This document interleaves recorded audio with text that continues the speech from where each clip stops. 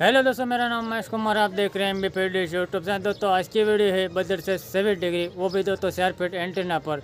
और कितने channel receive होते हैं और कौन से चैनल आपको इस इस चैनल पे आपको देखने को मिलेगा, वो भी दोस्तों सारी डिटेल आपको इस वीडियो में मिल जाएगी।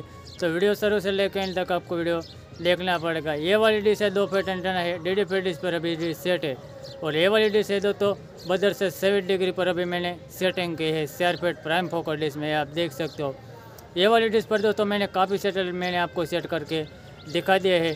ऑलरेडी मेरे चैनल पर इसका वीडियो आप जाके देख सकते हो। प्ले लिस्ट में आपको इसका वीडियो आपको मिल जाएगा।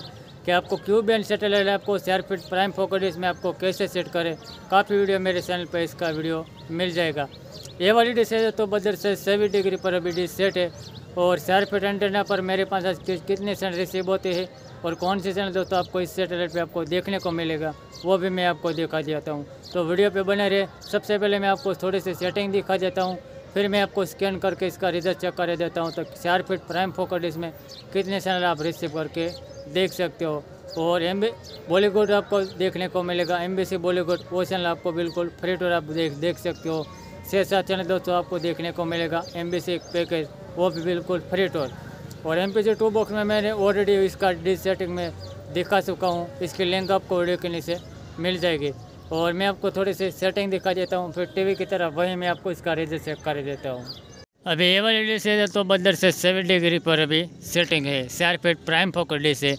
इस चार फीट प्राइम फोकस डिश में मैंने काफ़ी वीडियो में आपको दिखा चुका हूँ कि किस तरह से आपको इसके एल पोजिशन रखना है और ये वाली डिश है तो, तो अभी डी डी फिट डिश और नाइन्टी थ्री नाइन्टी फाइव पर अभी सेट है ये वाली डिश और ये वाली डिश पर दोस्तों मैंने पिछले वीडियो भी मैंने आपको रिसीव करके दिखाया था।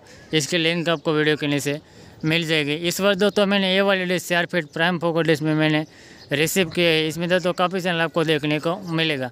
सबसे पहले मैं आपको इसकी एल एम बी पोजिशन दिखा देता हूँ। एल एम बी पोजिशन आपको इस तरह से रहेगी तो भी दोस्तों इसका सिग्नल आप रिसीव करके देख सकते हो, और ऊपर की तरफ़ रखेंगे तो भी इसका सिग्नल आप रिसीव करके देख सकते हो। ये वाली डिस्क पर जो तो मैंने कल इसकी अपडेट दी थी न्यू सेटेलाइट आपको सेट करके, यानी कि डायलॉग पैंतालीस डिग्री का मैंने कल डिस सेटिंग दिखाया था, कल का वीडियो आप जाके देख सकते हो। पोजीशन आपको डी डी पर तरफ़ रखेंगे तो भी इसका सिग्नल रिसीव होता है, और ऊपर की तरफ़ रखेंगे तो भी इसका सिग्नल आप रिसीव करके देख सकते हो। और हम चलते थे तो टीवी की तरफ़, वहीं मैं आपको इसका रिज़ल्ट चेक करा देता हूँ।